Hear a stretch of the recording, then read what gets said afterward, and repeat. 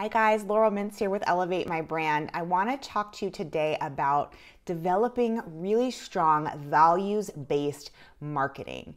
Now, we all know that marketing is a funnel, right? I always talk about that inverted triangle, and the top of that funnel are the branding awareness activities that we often talk about here at Elevate. But because we're in this very strange time, I want to really focus and emphasize the values component to your marketing initiatives let's face it, people are very polarized and people can be very polarizing. So it's important for you to make more and more values based decisions so that you're attracting the right team, the right clients, the right audience all of those things will help you more narrowly focus in on your core values as a company and make sure that you're tying your service offerings and products to an audience uh, or, like I said, team that uh, reflects that same values based uh, marketing that you have within your company.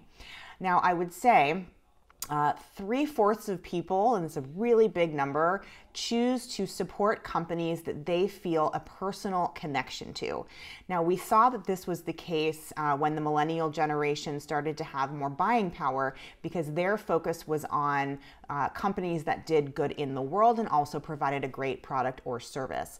I find that this is now a bit more ubiquitous across all companies, people just feel that personal uh, connected tie in to the companies that they work with and that's based on the company's values and of course that it's aligned with their personal values.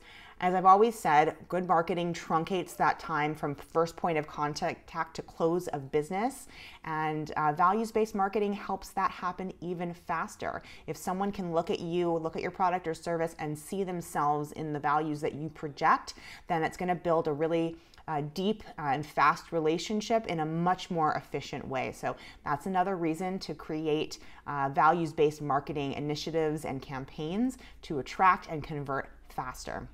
And then, of course, it builds deeper brand loyalty. We want to buy things and services from people that we know, like, and trust. That know, like, and trust factor is huge in marketing.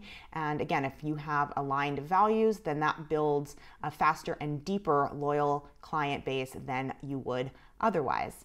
Uh, and then, of course, the most important piece here, and the piece I hope that you take away, is that it is important to pay it forward right now. It's important to do something more than just offering a product or service. I want you to really, truly think about how what you're doing, what you're providing in the world, is making the world as a whole a better place.